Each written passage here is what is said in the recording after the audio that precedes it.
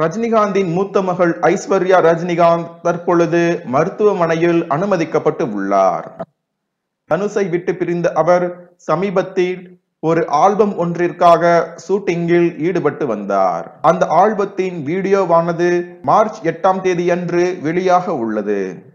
இதற்காக ஆவலாக காத்திருந்தார் ஐஸ்வர்யா. இது குறித்த வீடியோக்கள் மற்றும் போட்டோக்களையும் வெளியிட்டு வந்தார். அவருடைய ரசிகர்களும் இந்த ஆல்பத்திற்காக காத்து கொண்டு இருந்தனர்.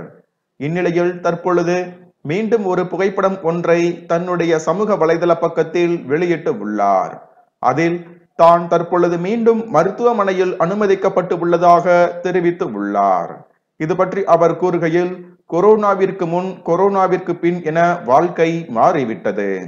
காய்ச்சல் மற்றும் தலை சுற்றல் இருந்ததன் காரணமாக மீண்டும் மருத்துவமனையில் அனுமதிக்கப்பட்டு உள்ளேன் எதுவாக இருந்தால் என்ன? உங்களுக்காக நேரம் செலவழித்து உங்களுக்கு ஊக்கமளிக்கும் ஒரு டாக்டரை சந்திக்கும் பொழுது மோசமான உணர்வு ஏற்படவே ஏற்படாது. பிரித்திகாச்சாரி மகளிர் தினத்தில் உங்களை சந்திக்கும் வாய்ப்பு கிடைத்துள்ளது என டாக்டரின் புகைப்படத்தை வெளியிட்டு அவர் பதிவிட்டு உள்ளார். தற்பொழுது இது வைரலாகி வருகின்றது. மேலும் இது போன்ற சுவாரஸ்யமான video பதிவுகளுக்கு T news two four seven சேனலை சப்ஸ்கிரைப் செய்யவும்.